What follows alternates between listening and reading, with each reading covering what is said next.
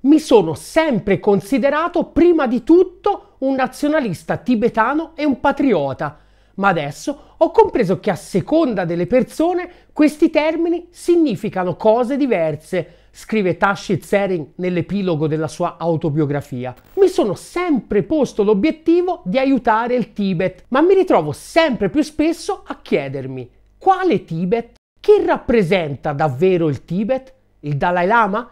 La vecchia aristocrazia che vive in esilio da decenni e che ha sempre escluso la gente come me da ogni decisione? Il libraio tibetano che ho incontrato ad Austin nel Texas che non mi rivolgeva neanche la parola perché pensava fossi comunista? Più invecchio e più difficile diventa trovare risposte semplici. Quello su cui non ho mai avuto alcun dubbio è che in nessun modo mi auspico un ritorno a niente che assomiglia anche solo lontanamente alla vecchia società feudale e teocratica tibetana ma credo anche che il prezzo del cambiamento e della modernità non dovrebbe essere la perdita della propria cultura e della propria lingua. E se quindi continuo a sostenere la marcia verso la modernizzazione del Tibet, credo anche che come tibetani sia nostro dovere combattere per assicurarci di non perdere il nostro patrimonio culturale e linguistico. Firmato Tashi Tsering, patriota tibetano e costruttore di scuole, come scopriremo oggi.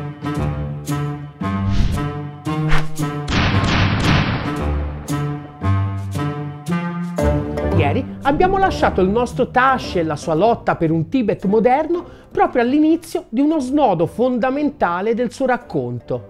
È il 1963.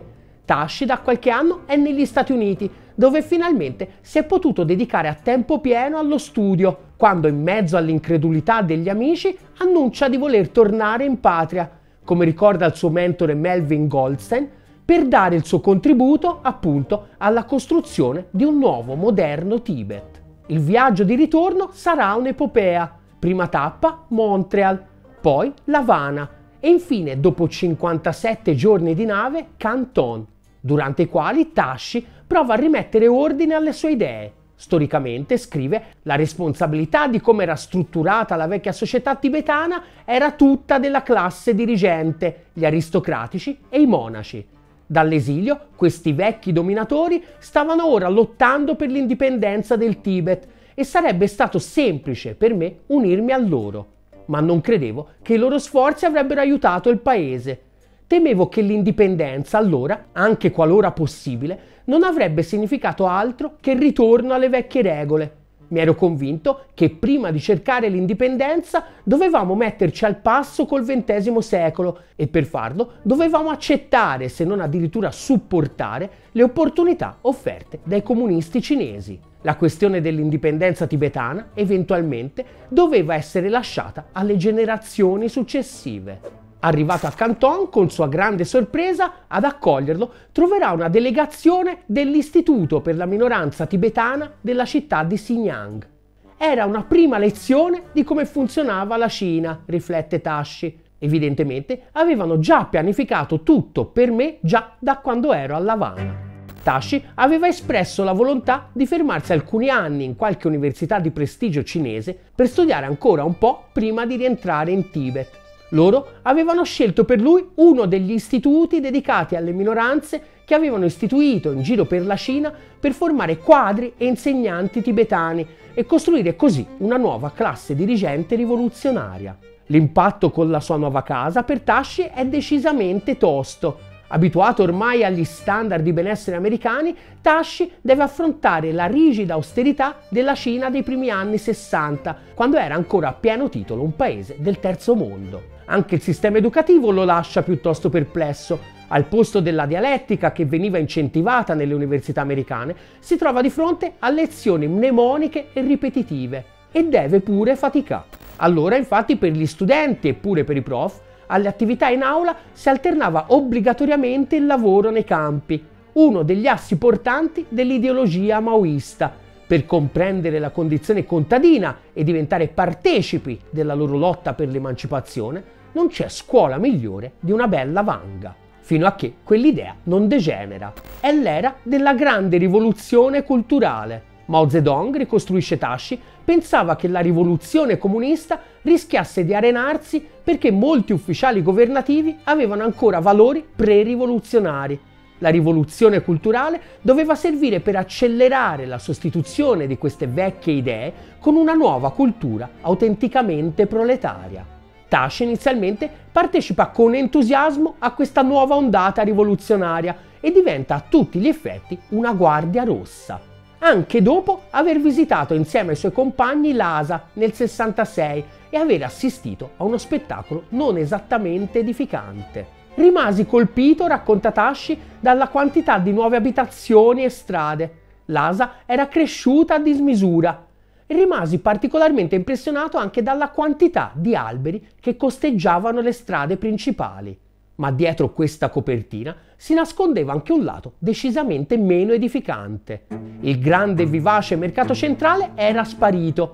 Per strada, al posto dei soliti mercanti di ogni genere che urlavano a ogni angolo, c'erano pochi tristi empori governativi. Il cibo era razionato, ricorda Tashi, e non c'era quasi per niente né carne, né burro e nemmeno patate. I giovani progressisti che aveva frequentato prima di partire per l'India erano diventati oggetto di persecuzione. Se un quadro di quartiere scopriva che stavi ancora praticando la religione, ricorda Tashi, ti denunciava e eri costretto a subire un processo popolare di fronte alle masse.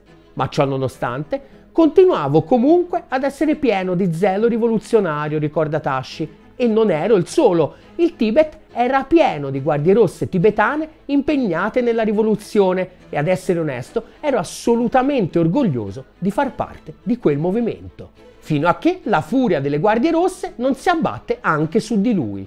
Era il 13 ottobre 1967, ricorda, e non c'erano state avvisaglie. Ero appena entrato in classe quando l'attivista seduto al mio fianco si alza in piedi e ad alta voce scandisce Suggerisco che l'antirivoluzionario Tashi Tsering sia isolato dagli altri e messo sotto supervisione. Non potevo credere alle mie orecchie.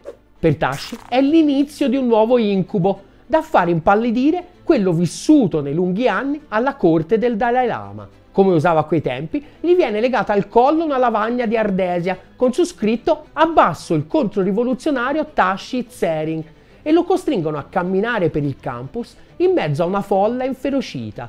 Segue un simpaticissimo processo sommario in piazza, durato ore, durante le quali si alternano vari compagni di studio che lo accusano di ogni sorta di nefandezza gli viene sequestrato tutto il poco che si era portato dietro dagli USA e dal dormitorio viene spostato in una specie di minuscolo sgabuzzino. La mattina dopo ripartono gli interrogatori. Lo scopo dell'interrogatorio, ricorda Tashi, era farmi confessare i crimini che loro credevano avessi commesso. Il processo era come spremere il dentifricio. Lo descrivevano proprio così e durò per i successivi 45 giorni. Il sospetto ovviamente era che Tashi fosse al servizio dell'imperialismo USA e del Dalai Lama ed era solo l'inizio. Dopo 45 giorni di interrogatori, infatti, dallo sgabuzzino Tashi viene trasferito in un grande edificio vicino al centro del campus, costruito apposta per fare da carcere a persone nella sua situazione.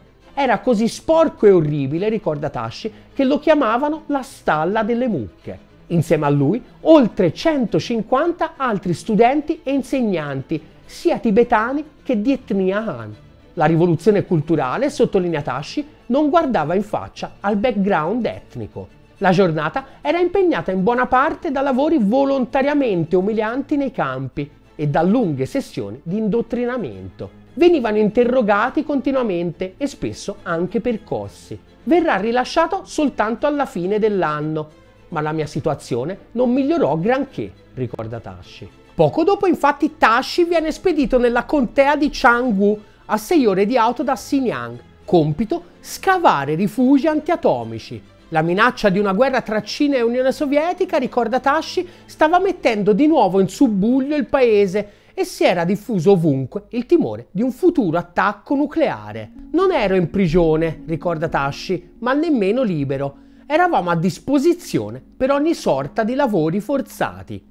Questo nuovo status, specifica Tashi, comportava lo stesso tipo di indottrinamento e di intimidazioni del passato e anche un lavoro manuale spesso estremamente duro. Passavamo la maggior parte dei nostri giorni sottoterra in tunnel alti non più di un metro e larghi due, dove tagliavamo il terreno con piccozze e pali e portavamo il terreno in superficie a mano nuda. Iniziavamo la mattina presto e facevamo solo piccolissime pause giusto per nutrirci alla rinfusa e avere le energie per continuare. E la sera eravamo di nuovo in un'altra stalla per le mucche. Pensavo la mia situazione non potesse in nessun modo peggiorare, ricorda Tashi. Mi sbagliavo. Il 23 marzo del 1970 infatti Tashi deve affrontare un altro processo pubblico. La condanna era già stata emessa. Ero stato formalmente condannato per essere una spia e un sostenitore dell'indipendenza del Tibet. A inchiodarlo in particolare una lettera che avevo ricevuto da un amico americano dove mi invitava a dare guerra ai barbari comunisti e il fatto che in un articolo scritto durante il mio soggiorno negli USA avevo affermato che il Tibet era indipendente. La nuova casa di Tashi è di gran lunga la peggiore che avesse sperimentato fino ad allora. Le celle erano scavate nella roccia e il pavimento era di fanghiglia. Dieci persone condividevano una cella di 30 metri quadrati. Potevamo andare in bagno solo due volte al giorno e per il resto avevamo una buca nella cella che veniva svuotata ogni mattina. L'odore era insostenibile. Eppure il cibo. Alle 10 la mattina ci davano due fette di pane al vapore, una rapa bollita e una ciotola di acqua calda. Lo stesso menù poi di nuovo alle 4 del pomeriggio e poi nient'altro, ricorda Tashi. I prigionieri non potevano muoversi e nemmeno parlare tra loro e ogni tanto qualcuno veniva fatto fuori. Ricordo in particolare di una notte durante la quale fummo costretti a sentire per tutto il tempo il pianto disperato di un prigioniero che era stato condannato a morte, mentre le guardie lo schernivano. Pensavo fosse il destino che avevano in riservo anche per me. E invece, senza nessun preavviso, il 30 novembre 1970 le guardie lo invitano a uscire dalla cella, lo caricano su un camion senza dirgli quale fosse la destinazione e lo portano nel carcere di Chengdu, la storica capitale dello Sichuan. E inizialmente qui le condizioni sembravano decisamente migliori. Poteva parlare con i compagni, il cibo era decente e i pavimenti non erano più di fango puzzolente, ma di cemento. Ero così contento di questi cambiamenti che feci il terribile errore di abbassare la guardia. Cominciai a rispondere con entusiasmo alle domande dei miei compagni. Avevo un bisogno estremo di parlare con qualcuno. Fu un grande errore, sottolinea Tashi. La prigione, infatti, scrive Tashi, era piena di spie. Mi accusarono di essere un piantagrane e come punizione mi misero delle manette che dovevo tenere giorno e notte, anche quando mangiavo o andavo in bagno. Fortunatamente però durò solo tre giorni. Al quarto giorno Tashi viene condotto all'aeroporto. Ad aspettarlo un aereo di fabbricazione russa, destinazione Lhasa venni trattato come se fosse una pericolosa spia internazionale. Arrivato all'Asa poi viene trasferito nella prigione di Sangib. Questa prigione era anche meglio di quella di Chengdu. Poteva pure leggere il giornale. Che culo, eh? Tra una storia e l'altra passano quasi altri tre anni, finché un giorno, del tutto inaspettato come il suo arresto, ecco che si presenta un alto ufficiale. Oggi sarai rilasciato, Pensiamo tu sia stato propriamente rieducato e ora sei un uomo nuovo e la nostra sola speranza è che tu in futuro possa servire il popolo. Era il 17 maggio del 1973. Dopo quasi sei anni, Tashi era finalmente libero. Oddio, proprio libero libero è un parolone. Infatti era stato di nuovo assegnato al suo vecchio incarico a Xinjiang. Il suo ritorno in Tibet da uomo libero doveva ancora attendere altri 5 anni. È il dicembre del 1978 e Tashi finalmente non solo può tornare all'ASA, ma pure con qualche soldarello in tasca. Avevano emanato un documento ufficiale nel quale affermavano che ero stato ingiustamente arrestato e imprigionato, che avrebbero risarcito tutto il salario che avevo perso e che sarei stato riclassificato da lavoratore a intellettuale. Non avevo mai creduto di poter ottenere tanto, neanche nei miei sogni più sfrenati, dopo tutti quegli anni di disperazione, alla fine avevo vinto. Tashi viene assegnato al National Language Research Center, dove comincia a lavorare al primo vocabolario anglo-sino-tibetano. La Cina e la sua Lhasa stavano cambiando. Ora il governo voleva provare ad aiutare gli intellettuali che erano stati così perseguitati durante la rivoluzione culturale, riflette Tashi. Un giorno viene invitato dal governo della regione autonoma a presentare il suo progetto per il vocabolario. Fu un incontro molto diverso da quelli a cui ero abituato. Solitamente non c'era nessun dibattito, era solo una performance pubblica. Qui invece si percepiva che ci si poteva esprimere liberamente. Tashi coglie l'occasione al balzo. Sentivo che l'opportunità era di quelle che ti capitano una volta nella vita e non avevo nessuna intenzione di sprecarla né in falsi elogi né in lamentele egoistiche. Volevo semplicemente parlare del mio progetto, descrivere le difficoltà che stavo incontrando e spiegare come il governo mi avrebbe dovuto aiutare. Fu la scelta giusta.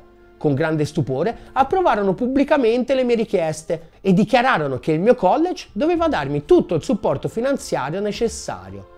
Pochi giorni dopo l'incontro, la mia nuova scuola mi riconobbe un finanziamento sufficiente per assumere tre nuovi aiutanti. Tre anni dopo, il dizionario era sugli scaffali delle librerie.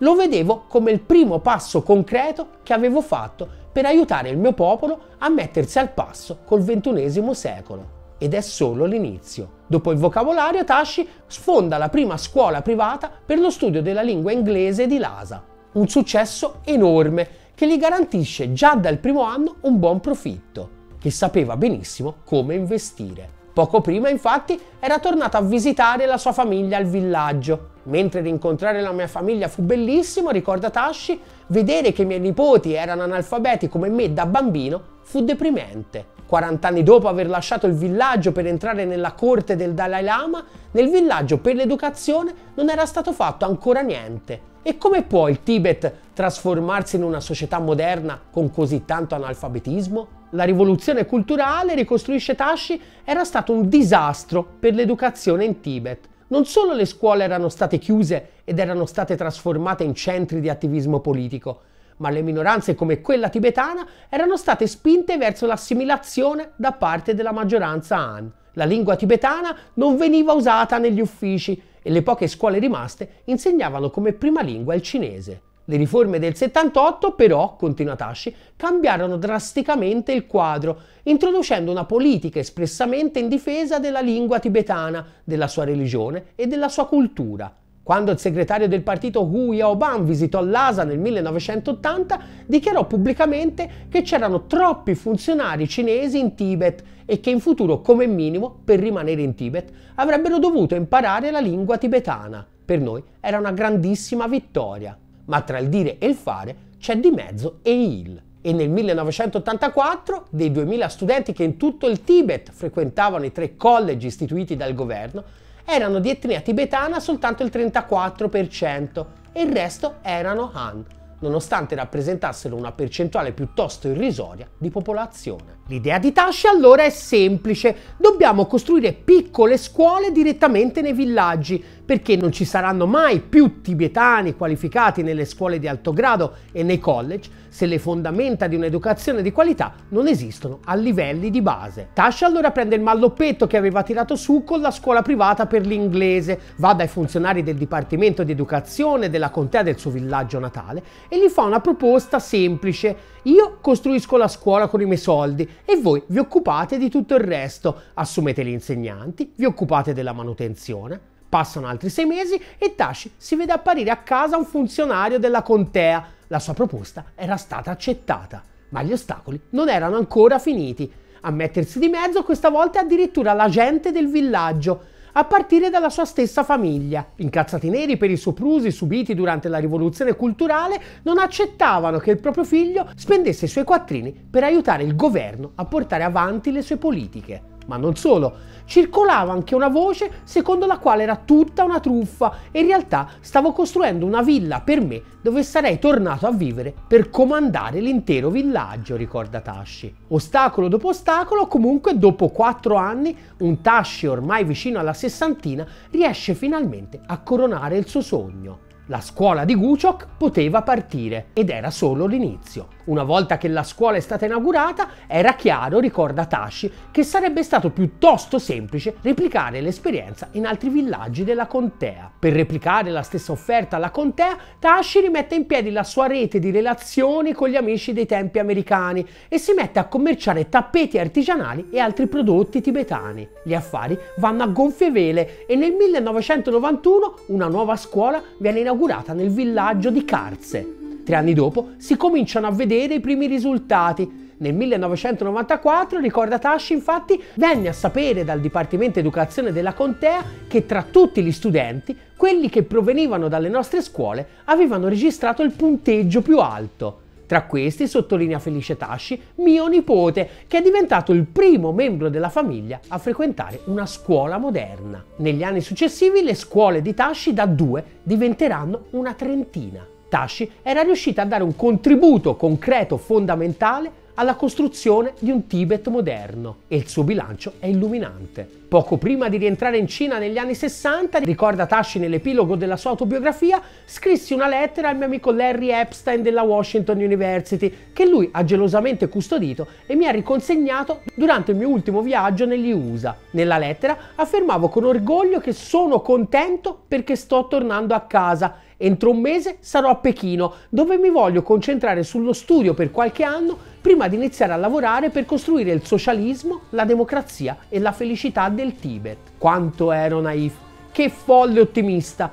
Eppure, spesso penso che se non fossi stato intriso di tutta questa ingenuità e di tutto questo folle ottimismo, non sarei mai sopravvissuto e non avrei mai realizzato quello che ho realizzato. Pochi mesi dopo la sua morte nel 2014, sul Tibetan Review, testata storica dell'indipendentismo tibetano redatta in India, esce una riflessione sull'incredibile storia di Tashi. Si può essere patriottici collaborando col nemico? si chiede provocatoriamente già nel titolo, ma le conclusioni sono abbastanza sorprendenti. Non è stato l'unico Tashi Tsering famoso in Tibet, si legge nell'articolo. Ad esempio, c'è un Tashit Sering della prefettura di Loka che il 26 agosto 1999 ammainò la bandiera nazionale cinese davanti al palazzo del Potala a Lhasa. È stato arrestato e picchiato e in seguito, secondo quanto riferito, si è suicidato nella sua cella. Un altro Tashit Sering, un nomade di 22 anni di Achok nella provincia di Gansu, è stato registrato come il primo tibetano a darsi fuoco nel 2013. La mia convinzione personale però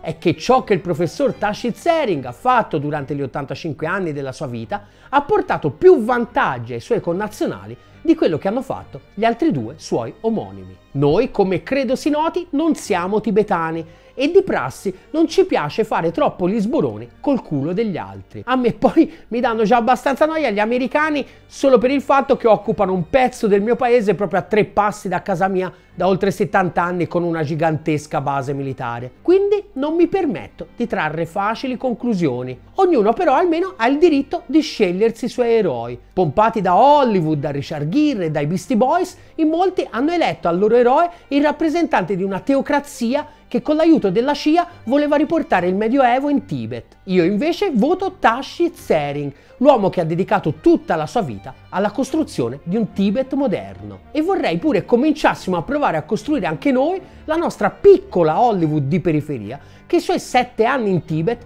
li passa con Tashi invece che con un Brad Pitt qualsiasi che celebra la memoria di un gerarca delle SS tra un falso storico e l'altro. Per farlo però abbiamo bisogno del tuo aiuto e anche magari di un Richard Gere perché evidentemente io non lo posso sostituire, diciamo. Aderisci alla campagna di sottoscrizione di Ottolina TV su GoFundMe e su PayPal.